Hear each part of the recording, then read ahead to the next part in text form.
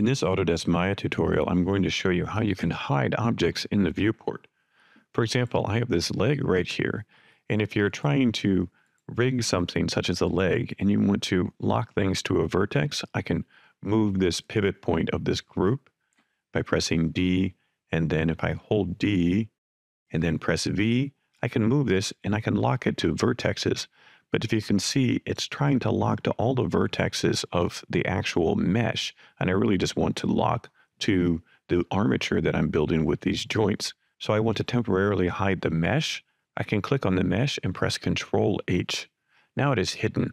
And as you can see, if I want to show it again, I can click on the leg and then I can press Shift H in the outliner. So once again, Control H to hide it, then click on the outliner and press Shift H. So if I have it hidden, now I can click this pivot point, hold D, then hold V, and it's easy to snap directly to that vertex rather than jumping around to all the other vertices. So hopefully this allows you to hide and unhide geometry in Autodesk Maya. Happy 3D modeling.